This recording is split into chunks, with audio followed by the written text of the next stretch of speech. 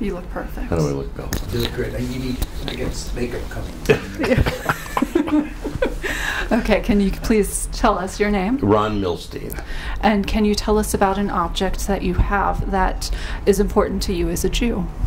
Yes, I found a uh, prayer book issued by the Navy to my father in 19, in, it says March 41, which was the month, I think he actually went into the Navy in February of 41 on his 18th birthday because he enlisted right after D-Day, uh, right after Pearl Harbor.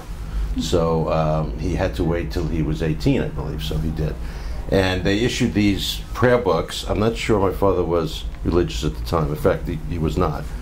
Um, but he did grow up uh, in an Orthodox family, so this was important to him, and um, he always we we always talked about his time in the Navy as something he was very proud of, although he was not big on details.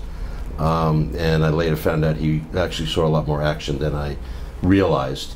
Uh, but so this always reminds me of him and uh, his respect for Judaism and, and the, the way that it was issued, which is kind of interesting, by the signed by the president, Franklin D. Roosevelt, to the members of the Army, although it's also for uh, Navy sailors, it says for Jewish soldiers and sailors, uh, so that they can, I guess, have it with them when they're serving.